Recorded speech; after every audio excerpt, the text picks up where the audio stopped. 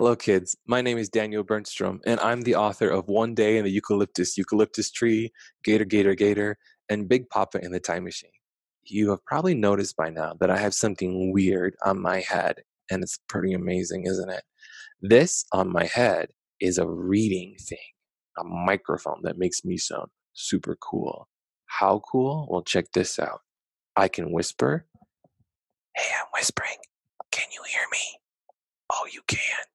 That's awesome. Or I can use it to sound, I can use it to have a big voice. This is my big important voice. I am big and important. And then I can do my squeaky voice. Hello, this is my big squeaky voice, and this is amazing. That was awesome, huh? So I have my big, cool microphone on, and I'm going to read to you. What am I going to read to you today? I'm going to read to you Big Papa in the Time Machine. Now, this is a story about going to school. It's kind of weird, right? Going to school, but some of you can't go to school right now. And it's about being brave when we don't know what's going to happen next, when we don't know about what tomorrow is going to bring. My daughter, she's in first grade, and she was crying the other day when she was home from school. And I asked her, I said, What's wrong? And she said, Am I going back to first grade this year? Am I going to get to see my teacher again? And I said, Well, probably online, but you might not be going back to school and see your friends. And she cried a little bit. And I said, But we can be brave, right? She said, Yes, we can be brave. So you might not know what's going to happen tomorrow. And you might wonder, well, how do I be brave when I'm not going to school, when I want to go to school? Well, that's what this book is about. And after I'm done reading, I have a homework assignment for you. I want you to go and talk to whoever's taking care of you.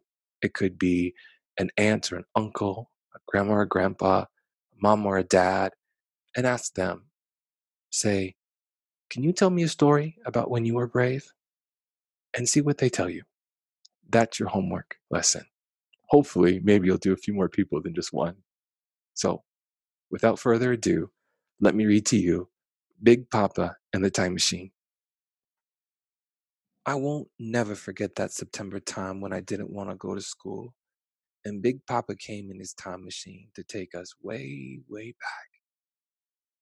Do I have to go to school?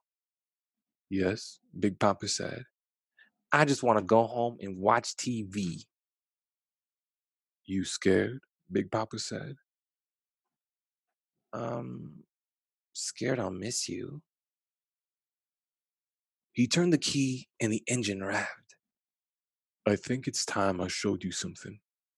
A long time ago. Little Rock, Arkansas, 1952. We took Big Papa's time machine to a long time ago. Big Papa, why that silver haired lady holding that boy tighter than tight? He was leaving home, Big Papa said. Needed to find him a job where he could eat fried fish every night. Big Papa, is that you? Yes, Big Papa said. You left your mama? Yes, Big Papa said. Was you scared? Scared to death, Big Papa said. Didn't have no job, didn't have no money or place to stay. But I thought you was never scared. No, no. Been scared lots of times, Big Papa said. But sometimes you gotta lose the life you have if you're ever gonna find the one you want. That's called being brave. Chicago, 1955. We took our time machine to when Big Papa worked in the sky on top of tall buildings wrapped in coats of smoke and ash. You couldn't wear a white shirt back then, Big Papa said. If you did, you'd be black by the end of the day, all that soot in the air. You was so high up. Wasn't you scared? Oh, I was scared, Big Papa said. Cars looked like tiny toys, and the wind would blow so hard. You think it'd carry you right away. Why'd you work up so high? I couldn't stand to stay on the ground, Big Papa said. Sometimes you gotta walk with giants if you ever gonna find out what you made of. That's called being brave. Chicago, 1957. We took our time machine to when Big Papa sat by himself in some boogie bluesy club. Mmm, Big Papa said. Hear those trumpets and them saxophones? They still make my bones want to swim. But why you not dancing? You see that angel? Dancing in a pink dress. Your Nana. Mm-hmm. She stole my heart with that pink dress. Then Big Papa jumped into the crowd and his feet and arms swam with Nana's and they danced and danced and danced. And Nana held Big Papa mm-hmm, tighter than tight. I thought you was scared. I tell you, I was scared, Big Papa said. But sometimes you gotta jump in an ocean of scared if you ever gonna dance with an angel. That's called being brave. Chicago, 1986. We took our time machine to the day a sad girl left a baby in Big Papa's arms. I'm that baby? Yes, Big Papa said. Your mama left you here for a while. But she never came back. No, Big Papa said. She never came back. Was you scared? You was so little and I was so old. Um, sorry I made you scared. Big Papa hugged me tighter than tight. Sometimes you gotta love the unexpected. If you ever gonna find love at all, that's called being brave. Little Rock, Arkansas, cotton fields, 1941. We took our time machine to a long, long time ago. Big Papa, what we doing here? A boy who looked just like Big Papa scratched letters on a piece of thin paper. Big Papa, is that you? Big Papa held my hand tighter than tight. Just watch, Big Papa said. What you doing with that paper? said a man. I'm doing school.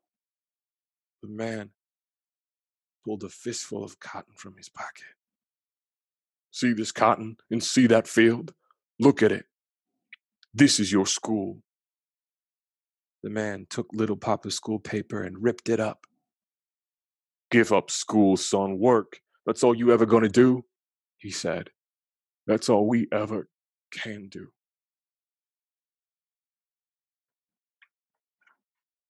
Did you ever go back to school? No, Big Papa said. Does being scared ever go away?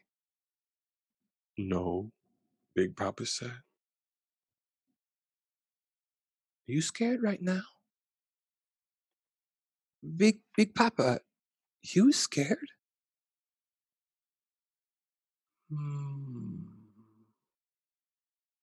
Big Papa said. Why are you scared?